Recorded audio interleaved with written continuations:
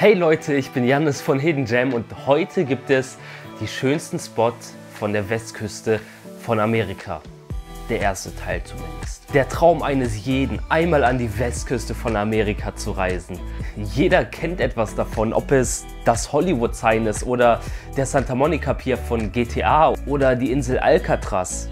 In diesem Video wollen wir euch zeigen, welche Orte in Kalifornien ihr nicht verpassen solltet.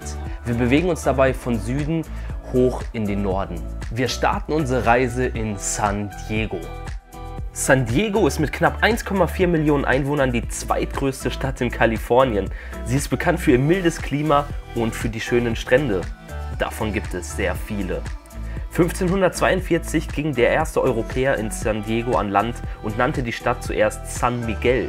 Sie wurde dann aber 60 Jahre später nach dem heiligen San Diego de Alcalá benannt. Die Stadt ist gleichzeitig ein beliebter Urlaubsort und eine Industriestadt. Zu den beliebtesten Attraktionen zählen der Balboa Park, das USS Midway Museum, das ist ein Pier der Navy, und der San Diego Zoo. Als nächstes geht es in den Joshua Tree Nationalpark. Joshua Tree ist der Name einer baumartigen Yucca-Art, die hauptsächlich in der Mojave-Wüste vorkommt. Seinen Namen hat der Baum von der einzigartigen Form seiner Äste, die aussehen wie die erhobenen Arme eines Betenden. Und das erinnert an die biblische Figur Josua. Der Baum kann bis zu 900 Jahre alt werden und er hat seine Blütezeit im April bis Mai.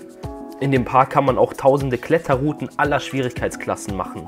Und es gibt eine große Vogelvielfalt. Zu bedenken ist, dass der Park sehr wenig ausgebaut ist, daher ist es ein bisschen schwer zu erkunden. Aus der Natur reisen wir jetzt in die nächste Großstadt. Los Angeles ist die größte Stadt in Kalifornien und bekannt für ihre vielfältige Kultur, das sonnige Wetter und viele touristische Ziele. Aber wo soll man bei dieser Stadt anfangen? In Los Angeles werden mehr als 220 Sprachen gesprochen und jedes Stadtviertel hat seinen eigenen Charme und spannende Attraktionen. Los Angeles ist ein wichtiges Zentrum der Unterhaltungsindustrie und weltbekannt für seine Hollywood-Filmproduktionen. Darüber hinaus gibt es aber noch viel mehr weitere Dinge zu sehen. Um ein paar zu nennen, den Santa Monica Pier, Beverly Hills, den Walk of Fame, Disneyland oder das Griffith Observatory. Wichtig zu wissen ist, dass es eine Autostadt ist. Das heißt, du musst eigentlich ein Auto besitzen, sonst bist du aufgeschmissen. Das gilt auch beim Reisen gilt aber eigentlich auch für die gesamte Westküste, nicht nur für LA. Von der Großstadt Los Angeles geht es jetzt in eine etwas kleinere Stadt. Mediterranes Flair, traumhaftes Klima, Architektur im Kolonialstil und goldene Strände. Das ist Santa Barbara. Die Stadt ist nicht besonders groß, aber trotzdem ein Anziehungspunkt für Touristen und ein beliebter Wohnort bei Promis. Sie wird auch als amerikanisches Riviera bezeichnet, weil es so sehr an die Mittelmeerküste erinnert. Es ist deshalb wohl auch die teuerste Wohngegend der ganzen USA. Von zwei richtig belebten Orten kommen wir jetzt in eine etwas ödere Gegend, den Death Valley Nationalpark. Das Tal des Todes liegt in der Mojave-Wüste und ist der trockenste Nationalpark in den USA. Beeindruckend ist die Kulisse mit den schneebedeckten Bergen, den Sanddünen und den Canyons. Der tiefste Punkt des Tals liegt 86 Meter unter dem Meeresspiegel und ist die tiefste begehbare Stelle von ganz Nordamerika. Am 10. Juli 1913 wurde eine Temperatur von 56,7 Grad gemessen. Das ist die bisher höchst gemessene Temperatur auf der Erde. Coole Spots sind Badwater Basin, das ist der niedrigste Punkt, Mesquite Sand Dunes, eine riesige Sanddüne, die auch schon als Wüstenkulisse für Filme verwendet wurde, oder Dante's View, ein Aussichtspunkt, von dem man den zentralen Teil des Death Valley überblicken kann. Als sechstes haben wir gleich zwei Parks, und zwar der Sequoia und der Kings Nationalpark. Diese beiden Parks grenzen aneinander und werden als eine Einheit verwaltet.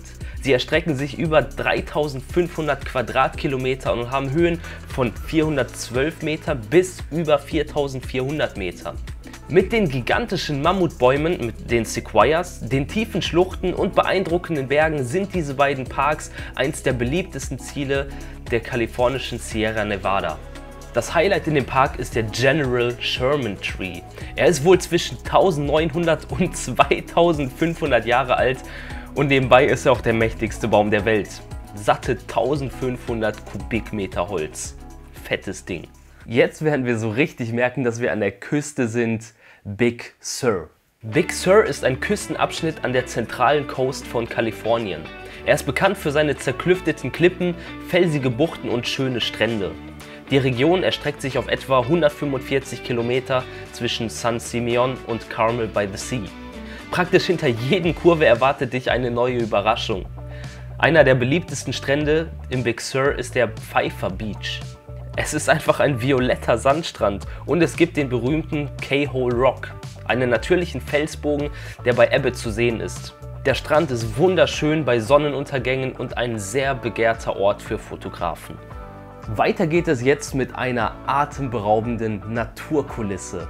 Der Yosemite Nationalpark ist ein Naturpark in der Gebirgskette der Sierra Nevada.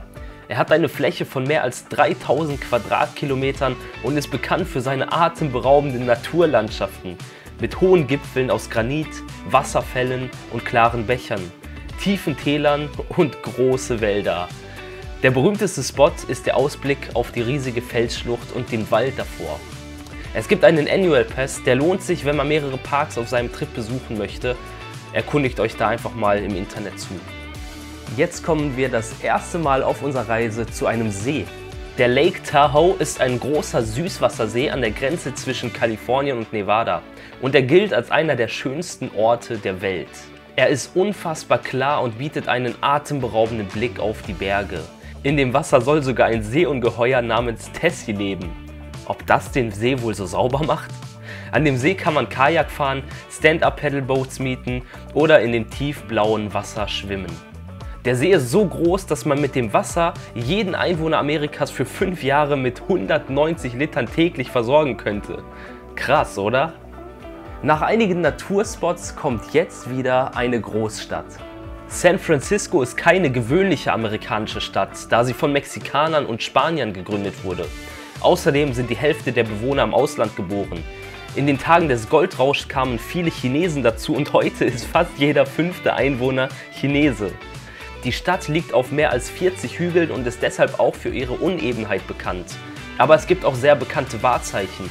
Allen voran die Golden Gate Bridge, die San Francisco mit Marine Country verbindet und die Insel Alcatraz, die mal ein berüchtigtes Bundesgefängnis war, heute aber eine Touristenattraktion ist.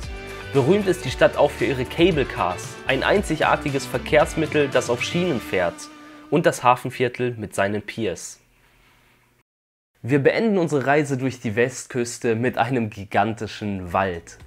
Der Redwood Nationalpark ist Heimat der höchsten und ältesten Bäumen der Welt, den Küstenmammutbäumen. Diese Baumart kann über 2000 Jahre alt werden. In diesem Park stehen knapp 50 Prozent dieser Baumart weltweit. Zum Park gehören aber nicht nur die Redwood-Wälder, sondern auch 60 Kilometer naturbelassene Küste mit Gezeitenpools und Sandstränden. Der Eintritt in den Redwood Nationalpark ist frei, mit Ausnahme des Golden Bluff Beach. Es gibt in dem Park übrigens einen Baum, der 116 Meter hoch ist. Der Standort wird allerdings nicht bekannt gegeben, damit der Baum geschont wird weil ich die Abmoderation vergessen habe, melde ich mich hier nochmal aus unserem Studio in diesem Format. Welchen Spot würdest du gerne besuchen, wenn du das nächste Mal an der Westküste bist? Schreib uns das gerne in die Kommentare rein. Ansonsten lass gerne ein Like da, lass ein Abo da und auf unserer Website findest du weitere Informationen zu all den ganzen Spots. Schau da gerne mal vorbei. Ansonsten danke fürs Zuschauen und bis zum nächsten Mal. Haut rein. Ciao, ciao, Janis von Hidden Jam.